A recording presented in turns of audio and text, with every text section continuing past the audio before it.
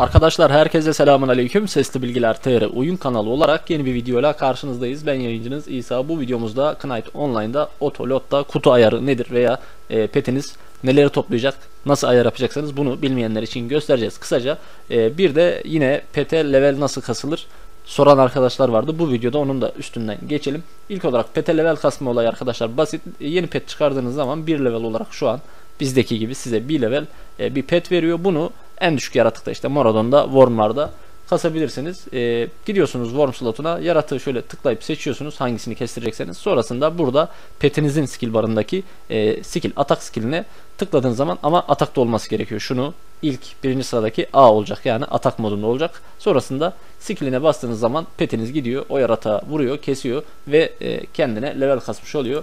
Yine petinize kullanabileceği yiyecekler var. Bunlar da ilk pet görevini aldığınız yerde e, Kate isimli NPC'de Moradon'daki bu pet görevini aldığınız yerde e, var. Onu da göstereceğim birazdan. Hemen uzatmadan kutu ayarına geçelim. İlk olarak sol taraftan M harfi var alt köşede. Buna basıyoruz. Buradan Option sekmesine geliyoruz veya F10'dan da gelebiliriz. Option'a tıkladık arkadaşlar. Sol tarafta menüde burada listede şöyle aşağı kaydırıyoruz. Routing Option var. Familiar Option'ın altında Routing olana tıklıyoruz.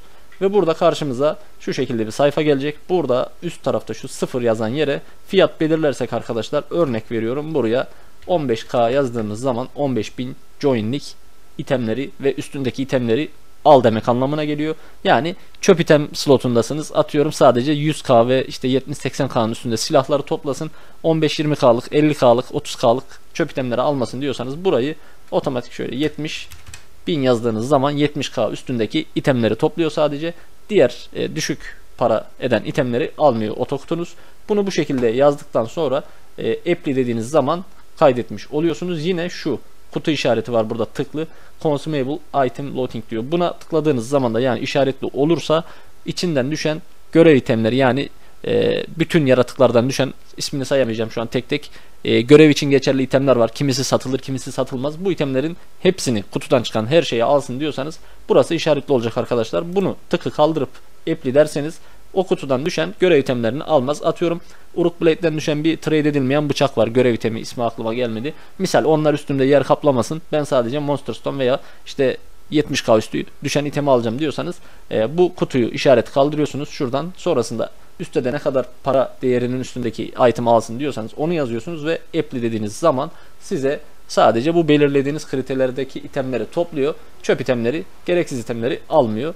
Biz şu an şunu sıfırlayalım. Gerçi kapatayım ben şunu. Bir tone atayım arkadaşlar. Hemen şu Peyton'de şeyini gösterelim. Peyton. Peyton neyse Kate'in oradan diyecekken Peyton dedik. Pet için e, belli aralıklarla yiyecek. Yani beslemeniz gerekiyor. Beslemezseniz ölüyor garibim hayvan açlıktan. Bu arada herif görünmezlik basmış. Şuradan Familiar Pardon yanlış yere girdik gene arkadaşlar. Familiar Random kısmına geliyorsunuz. Şu image change dediği bu ara ara size yaratıklardan da düşebilir bunun değişik e, renkte olanları. Bunlar e, petinizin şeklini değiştirmek için yarıyor. Yani TS gibi düşünün. E, şu 3 tane süt, ekmek ve yaprakta peti beslemek için alabileceğiniz e, ana besin maddeleri bunları üstünüze işte 3'er 5'er tane koyarsanız özellikle petinize level kasıyorsanız bunlardan alın. Çünkü yaratık keserken canı daha çok düşer. Diğer türlü otokutuda çok fazla aşırı düşmüyor ama yine yanınızda bir iki tane bulunsun. Şu da Familiar Summon dediği zaten bu olmazsa peti çıkaramıyorsunuz. Üstünüzde ilk görevde size 5 tane verdiği zaman o bittikten sonra bunu da gelip buradan alabiliyorsunuz. Otokutu ayarı da bu şekilde petin. Yine farklı videolarda görüşmek üzere. Kanalımıza abone değilseniz abone olmayı unutmayın. Videolara yorum ve beğeniyi de eksik etmeyelim. Herkese iyi oyunlar.